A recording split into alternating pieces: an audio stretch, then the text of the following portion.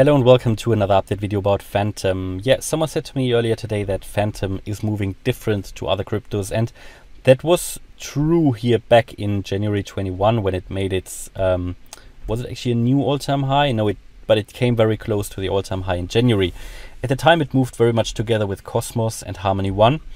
Um, and they still move together, but at the moment they pretty much all are moving in very similar ways, pretty much all cryptocurrencies and Fantom in my opinion as well. So from the reversal point here that we called at the time back in January, we have moved down a long time in this channel. And within this channel, in the last video, I made you aware of this potential breakout level here, that breakout point, that descending wedge um, in the channel. But we are still overall in a channel here, in descending, in a huge descending channel. And I told you as well that, you know, we can't really talk about a sustainable breakout for Fantom until we get back out of this channel. And we have two things here. So we reached that target area for Fantom that we talked about. We talked about a 50 cent level Fantom or 50 chili powder here ordered. Sorry. Um, no, we talked about um, 50 cent for Fantom, roughly. Yeah, 57. Now it did even come below that. Yeah, so I had to go to the high level wave count based on the Elliott waves here to give Fantom basically another chance. And the 50 um, the um, fib levels reach now from 39 cents to 75 cents. So that is the target area here for Fantom. Um, and so far, as we can see here, if we zoom in, it has moved below the target area. It has now come back into the area, back above the 88.7% Fibonacci retracement level, which is good. However, there's obviously I showed you two patterns here in the last video. We, we looked at this descending wedge, which is rather bullish, yeah. Um, and we looked at this ascending channel after a strong, da strong downtrend, which is rather bearish, because you can call this obviously a bear flag. And um, it could be, now there's two things here. This could just be a 1-2, 1-2 setup, or it could be a, a corrective structure. It is not as clearly corrective as we can currently see it on many other cryptocurrency charts. So in that sense, yes, Fantom is a moving a little bit different, but it still is moving here in some kind of a channel. Yeah, um, and I can adjust that a little bit, but it is just a, a consolidation. That is how it is looking like. Just a consolidation at the moment after a strong downtrend, which primarily you would expect would break out to the downside. So in summary, my view is Fantom has not yet seen the low. That is my assumption for many other cryptocurrencies. That is also my assumption for Fantom. However, at any point in time, Fantom, like many other cryptos, can now have seen the low. Theoretically, all of this could be completed. I mean, I talked a long time about this target area here for Fantom, and it was very hard to believe it when we were at $2.50 and I talked about a potentially, I think, 57 to 80 cent Fantom. And in the end, we dropped even lower, so I wasn't even bearish enough. But because it has now done what it needs to do in this correction, in this wave 2, as per the Elliott wave method, because that is what it is. It's a wave 2 correction, which can just correct down very, very much.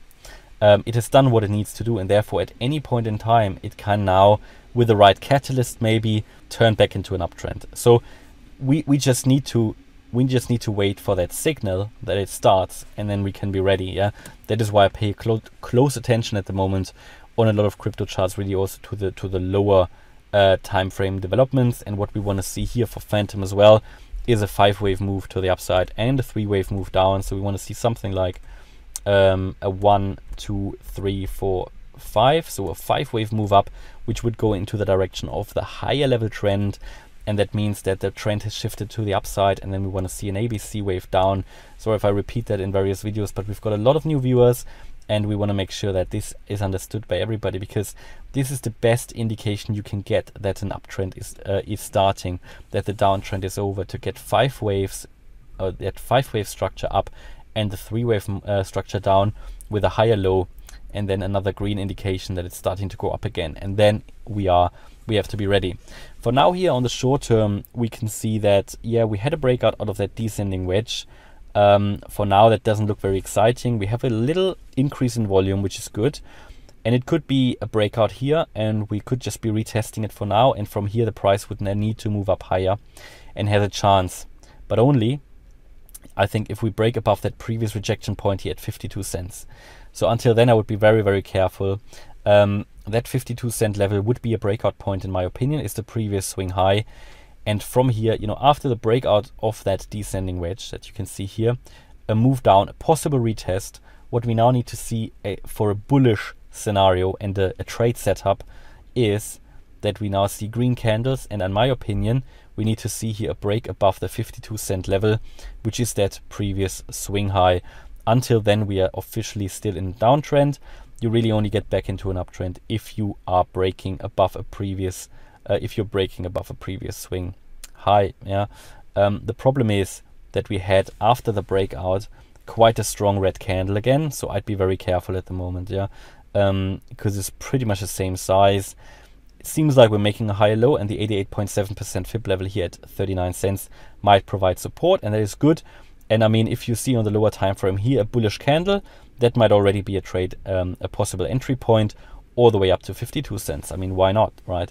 Um, coming down to support eight um, here at uh, 39 cents, going maybe to the one hour chart or four hour chart.